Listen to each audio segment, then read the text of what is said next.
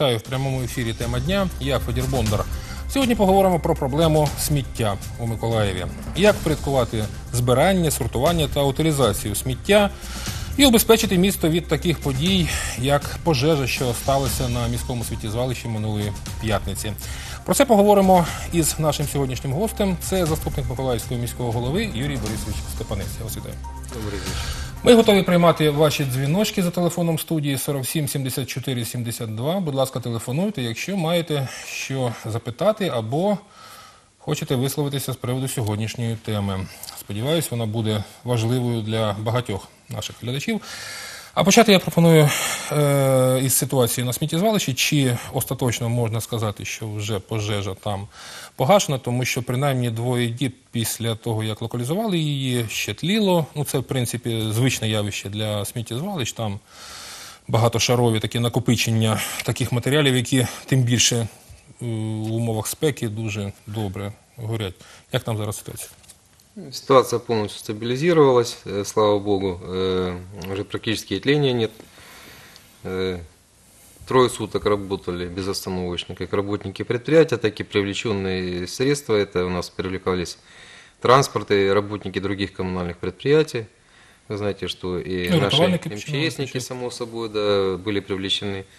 Ну, МЧС, они сбили огонь, и все, там огня нет. Дальше уже работали коммунальные службы.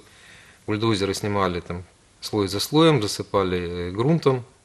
И вот так э, на протяжении трех суток удалось ли э, предотвратить дальнейшее возгорание там, мусора на нашем полигоне. Профілактика якась така локальна можлива для того, щоб подібного не було найближчим часом. Ну, профилактика. Прежде всего, надо соблюдать технологии. Ну, Правильно там, работники МЧС сказали, что несоблюдение технологий приводит к тому, что у нас происходит загорание. Потому что, так понимаю, слой мусора высыпали, необходимо грунтом засыпать его. Слой высыпали, опять грунтом надо засыпать. Э, Ну, что можно требовать с предприятия, если у них элементарного даже экскаватор не рабочий стоит? То есть я выезжал туда на место свалки и докладывал сегодня Александр Федорович. Александр Федорович э, дал поручение, э, чтобы предприятие в лизинг приобретало технику, поскольку городской бюджет пока не в состоянии выделить средства на такое количество техники, каким необходимо. Э, Вообще в целом вот какая э, ситуация на предприятии по технике? Вот вроде бы есть 5 бульдозеров, из них только два рабочих, три стоят разобранные. Нет денег на то, чтобы Може, вони з отремонтировать. их. п'яти два зробили? Ну, это два Ну, рабочих, это, это новые бульдозера, которые купили буквально два года назад. Мгм. То есть, понятно, техника старая, из тех, э, то, что стоит, это старая техника. Экскаватору больше 10 лет. Условия работы на свалке, ну, сами понимаете, очень тяжелые. То есть техника ломается и выходит из строя очень быстро. Поэтому необходимо, естественно, предприятие обеспечить необходимой техникой, это первое. И второе, с какой проблемой мы столкнулись, это практически отсутствие грунта, которым надо пересыпать этот мусор. Э, Строительного мусора практически нет. Его немного там, вот то, что было, мы полностью его израсходовали, э, засыпая э, слои мусора. Э, Я дал сегодня поручение, э, водоканал полностью на своих работах, где он снимает грунты, будет все это завозить на нашу городскую свалку, в наш городской полигон, для того, чтобы у предприятия был материал, чтобы засыпать слои мусора, чтобы не было возгорания, не было тлений таких, как у нас происходит. Ну и я уже закончу. И третье – это э, охрана, охрана нашего полигона. К сожалению, те мероприятия, которые мы уже провели, э, городу обошелся строительство забора вокруг полигона больше трех миллионов.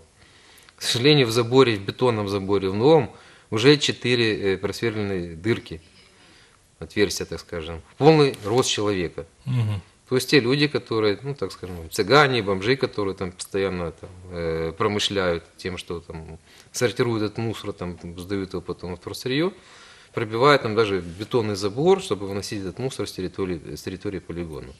То есть надо еще усилить охрану, естественно. У нас в планах есть и освещение по периметру э, городского полигона. Там, естественно, необходимо заделать эти дыры и необходимо, надо, бра- скорее всего, брать штат несколько охранников, чтобы охраняли городской полигон. А Потому хто- что у нас зараз, зараз охорони немає в принципі? охрана один сторож на полигоне, к сожалению. На вході, на воротах. Да, на воротах, который стоит. Возможно, ночью он там и обходит, но это не дает тот эффект. Даже э, те же самые, там, э, так скажем, не, не официально неформальные работники полигона, как я уже называл, цыгане, те же бомжи, даже неумышленно там, либо умышленно делают подпалы на полигоне. Для чего? Это тоже понятно. Когда мы убираем слои эти мусора, который горит, тлеет, тем самым там где-то металл вылазит, они тут металл собирают, сдают, там, либо еще что-то там. Ну, есть и такие факты умышленного подпала полигона. Цікаво, з одного боку є технологія, от як ви сказали, принаймні кожен шар е, сміття має перетинатися шаром е, ґрунту. І при цьому техніки немає. Е, ну, я так можу припустити, що контролю взагалі немає за цим підприємством. Чи не було? Контроль есть, к сожалению, не хватает всех тех средств городского бюджета, которые необходимо направить на данное предприятие. У нас э, не одно предприятие в городе, и проблем масса в городе. Видите, это по авариям, также по водопроводной сети, по канализациям, текущие крыши, там не работающие лифты, то есть проблем масса. И э, тот бюджет, который существует на сегодняшний день в городе Николаеве, э, за счет этого бюджета невозможно все сразу вопросы закрыть. Получается, у нас размазывается бюджет по тарелке, мы пытаемся и там чуть-чуть, и там чуть-чуть, и там чуть-чуть дать, а в итоге эффекта никакого нет. Там. Но если направить только на одно направление, тогда у нас оголятся другие направления. Вот, Якщо цього к року сожалению, картина такая. вирішать е, якось розібратися з проблемами сміттєзвалища і, і більше нічого в місті не буде, це теж, мабуть, трошки неправильно. Да, Але... это не будет неправильно, Даже поэтому настолько же мало говорю, прошли. сегодня Александром Федоровичем было озвучено на аппаратном совещании, когда я докладывал по э, ситуации на полигоне. Он дал поручение директору предприятия заняться вопросом приобретения необходимой техники в лизинг. По грунту я тоже сказал, мы уже нашли выход, есть грунты, которые э, Так, так, я знаю, водоканал да, получает в процессе прозвучало. работы. Е, можливо, принаймні одну проблему вирішити допомогло б, е, якби е, сміття збирали роздільно. Те, до чого ми начебто йдемо, і те, що начебто впроваджуємо, і по місту вже е, поруч із е, простими баками для сміття з'явилися контейнери для пластикового, для е, скла окремо. Е, Але е, зараз ми продовжимо безпосередньо цю тему. Я що маю на увазі, що от ви кажете. Е, ходять, пробираються туди е, неофіційні працівники так звалища для того, щоб там зібрати, можливо, макулатуру, пластик, метал, тим більше. Якби було е, роздільне збирання, то напевно там зовсім небагато цього було б матеріалу, не було б там їм що робити. Можливо, люди тоді без роботи залишилися але це, це окрема тема. Зараз я пропоную відеосюжет про те, як у Миколаєві намагаються запровадити роздільне збирання сміття і що цьому заважає. Сюжет наших колег зі служби новин. Окремо папір, поліетиленові пляшки та харчові відходи. Саме так останні чотири роки сортує побутове сміття жителька Миколаєва Анна Босякова.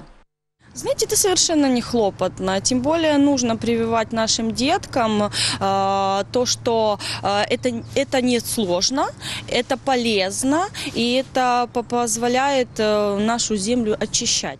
Коли проєкт з сортування побутового сміття реалізують у Миколаєві та області, чиновники говорити не беруться. На сегодняшний день сортировать в том виде, в котором мы хотели бы, практически нереально. Существуют и субъективные, и объективные факторы. Э, Для того, чтобы сортировать полностью мусор, необходимо как минимум 3-4 контейнера на контейнерной площадке отдельно э, для сбора. Понятно, это затратная часть. Э, Чтобы ее исполнять, необходимо подготовить инфраструктуру, системы э, сбора, дальнейшей транспортировки, дальнейшей переработки отходов. И этим должны заниматься непосредственно органы местного самоуправления. Відповідно, невідсортоване скло, пластик, папір, а ще лампи, батарейки, прострочені ліки, хімікати тощо прямим шляхом потраплятимуть, як і наразі, до сміттєвих контейнерів, а звідти на звалище. Другого выхода на сегодняшний день нету. Пока не построят мусоросжигающий завод, предприятие инвестор, которые вот вроде бы серьезные намерения есть у них. Когда они это построят, то уже полигон уберет свою основную нагрузку. Поки посадовці посилаються на відсутність інструкцій та коштів у бюджеті, активні жителі міста не чекають вказівок, а розкладають сміття по пакетах. Тема дня в прямому ефірі. І перш ніж продовжити обговорення, ми все ж таки послухаємо нашого глядача. Нам повідомляють, що є дзвіночок у нас. Слухаємо, будь ласка. Здравствуйте. Добрий вечір. Здравствуйте, уважаемый наш заместитель мэра. Э, Я мешканец Николаева Абрамик Юрий Павлович. проживаю в Заводском районе. Э, Спасибо, что вы озвучили э, стоимость забора, который якобы там стоит, за 4 миллиона гривен бюджетных денег, да.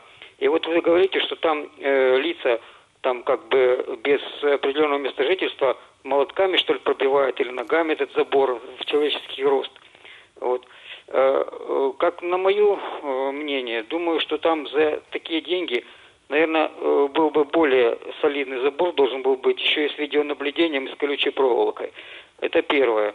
Вот. А второе, что вот теперь смотрите, приду я на это сметизвалище и начну там что-то перебирать. Ну, меня должны просто, мягко говоря, арестовать и э, предъявить штрафные санкции какие-то. Почему э, там просто люди разгуливают, а вы говорите, там все разносят и разносят. Э, на- э, направьте туда два-три раза наряды м, полиции, чтобы граждан арестовывали, и покажите это. И, наверное, меньше будет. Я так думаю, там, вот, а не просто говорить, что там любой придет и будет, э, что, хот- что хочет, то и делать. Вот мое такое вот мнение. Дякуємо. Е, Я хо- хочу спочатку уточнити, який периметр, щоб усвідомити вартість дійсно. Не пам'ятаєте точно? Ой, точно не скажу, там, э, ну, по-моему, там в километрах измеряется это все. То есть периметр довольно-таки большой там. Э, Что касается того, что действительно там э, необходима работа нашей полиции, и полиция э, делала несколько рейдов таких, к сожалению, то, что их собирают, тех лиц без определенного места жительства, отвозят в райотдел, потом они опять там появляются чудным образом. И, наверное, не секрет, что там целое поселение уже за свалкой, за забором они там уже находятся. Там, где они живут, э, размножаются каким-то образом, умирают, даже, по-моему, никто там не ведет учет, кто там родился, кто там умер, каким образом люди вообще там появляются и куда-то уходят. там. То есть, к сожалению, Це територія Миколаївського району? да, это территория Официально. Николаевского района официально, это э, Леснянского сельсовета территория, э, Николаевского района, все правильно сказал. Щодо того, щоб туди поліцію направити, е, не було жодних результатів, так? Результаты не одноразовые. повертаются? Ну, собрали их там, куда-то отвезли, и в итоге они опять там появились. И Там. То есть э, до конца, видимо, не доводят эту работу. Все-таки их надо где-то определять, я так понимаю, в каких-то распределителях, в каких-то приемниках. К сожалению, результата это не дает на сегодняшний день. Ну, щодо вартості, коли, до речі, будували? Э, Паркан. Его делали в 16 году, в 17 18 году, то есть его поч- практически там больше двух лет его делали. А, не да. вистачало грошей. То есть, да, сначала Доводилось сделали одну ще- очередь, ну, потом це- вторую очередь. це Э, наша и на традиція этот год така. перешло, перешло этот забор, опять же, ж, э, потому что не успели ворота установить, они там ворота варили. Там. То есть ну, больше двух лет делали для забора. Наша відома традиція у багатьох сферах. Е, Щодо е, намагань наших е, до роздільного збирання сміття, в принципі, ну, якщо не торкатися інших країн, Європи тим більше, подекуди навіть в Україні вже вдалося його запровадити. Я не знаю, яких це там коштів вимагало і старань місцевої влади. У нас виглядає так, що просто для виду поставили ці контейнери додаткові, а потім все гамузом знову збирають. Це що так почали психологічно готувати просто миколаївці до того, щоб колись воно якось стане результативно. Е, Є якісь плани, е, чи зрозуміло, коли можна буде перейти до наступного етапу, що все ж таки не буде змішуватися е, скло і пластик із рештою? Ну, для меня тоже было. Я, по сути, на это направление был поставлен не так давно. И для меня была действительно это дикость, Что у нас стоят э, разные контейнеры под разный вид мусора, а все загружается в одну машину. Я смысла не понял, для чего ставят контейнер отдельно для пластика, отдельно для стекла. Если приезжает один мусоровоз и все всыпает там в один мусоровоз. Естественно, если мы поставили контейнера, то есть необходимо то есть определенное количество техники, которые будут забирать. Эта техника должна быть разная. Там для пластика это одна машина будет, там, для стекла другая, там, для остального бытового мусора это будет третья машина. Опять же, мы упираемся там, э, в технические возможности предприятия, если у них эти машины. Там, к сожалению, нет этих До речі, машин. вони проходять конкурс, е, ті, Да, хто вивозить мусор? Проводят Сміття? конкурс, э, и есть победители конкурса, у нас определены там три победителя в Николаеве. А в умовах прописано, як саме вони мають це робити? Там передбачено роздільне вивезення? Ну, в условиях оно должно быть прописано. Ну, має бути. Да, э, должно быть прописано это. Надо просто контролировать и давить на это, что оно должно быть. Но если нет техники, значит, надо поднимать вопрос, приобретать технику.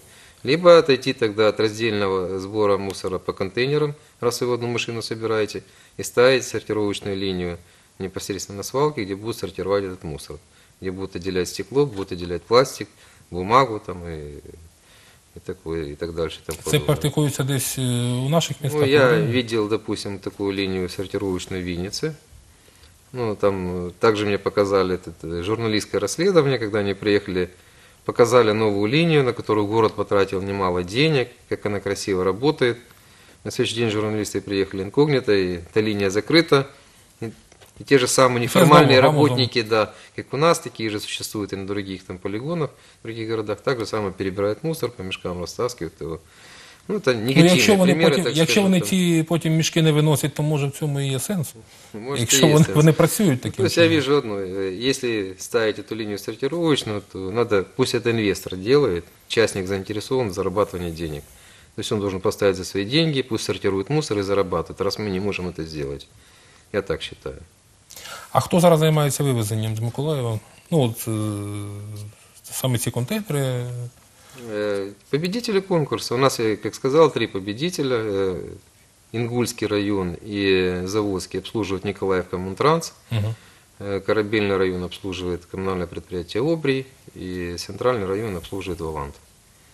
Поэтому три победителя, они работают по городу, это, это возчики мусора, которые должны, кроме того, что мусор этот э, с контейнера мусорно перегрузить в машину, и также должны перебрать в контейнерную площадку, что, к сожалению, они делают у нас не так часто, и почему мы видим мусор вокруг контейнерных площадок, это невыполнение э, условий договора повозчика, которых, я считаю, надо наказывать за это. І неважливо, що ті ж самі е, шукачі якихось матеріалів ходять, перекидають. Це не має значення.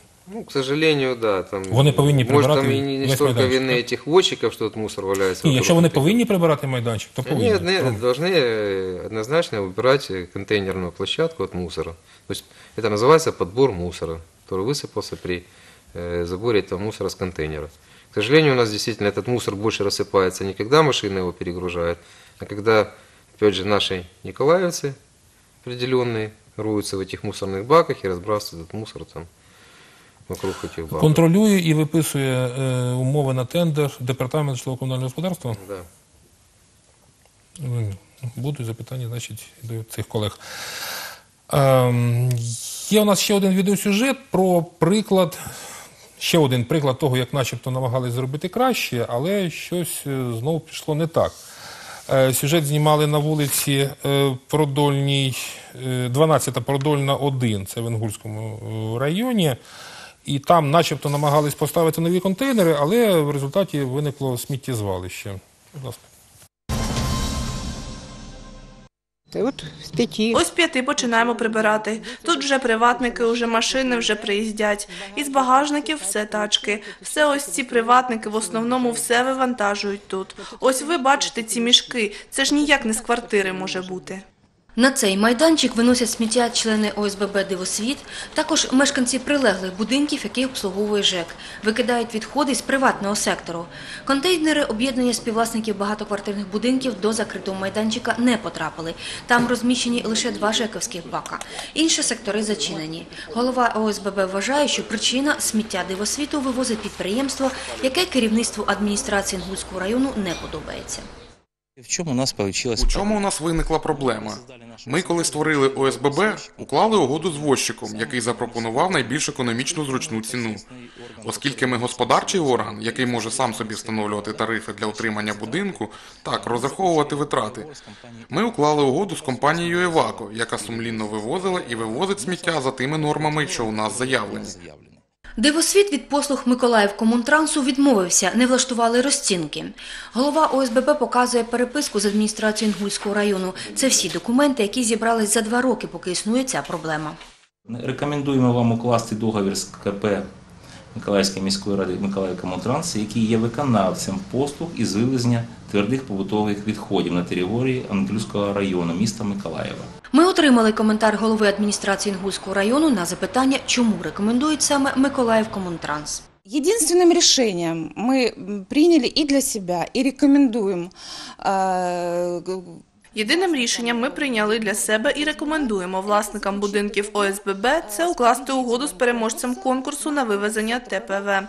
Це наше підприємство Комунтранс. Були направлені і листи, велись переговори. Я знаю, що розглядалося це питання на зборах мешканців, але ми отримали відмову. Де і в які баки хто викидає сміття, ми, на жаль, знати не можемо. Контролювати це неможливо, а працювати з одним возчиком ТПВ в районі набагато простіше і зручно І тоді нам абсолютно все одно, звідки ці наші відходи. Ну, откуда э, вот эти все наши отходы?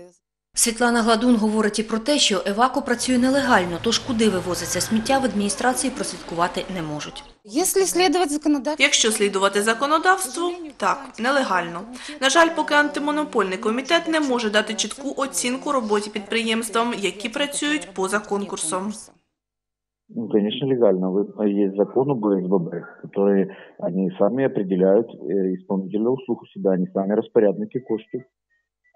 Мы работаем э, э, как бы согласно закону о предпринимательской деятельности. Обидві сторони конфлікту бажають працювати в правовому полі і відстоюють свою точку зору. Купа сміття щодня збільшується і слугує джерелом їжі птахам і тваринам. У нас небагато часу залишається. Будь ласка, прокоментуйте стисло, як проблему вирішити. Ну, здесь налицо прямое нарушение действительно законодательства. Во-первых, то, что комментировал Слава Николаевна Гладу, не совсем так. Антимонопольный комитет дал нам полное разъяснение, что если у вас есть победители действительно конкурса, у нас три, как я говорил, они имеют полное право обратиться в антимонопольный комитет с жалобой на тех частных вочков, которые возят мусор. Почему такая ситуация происходит?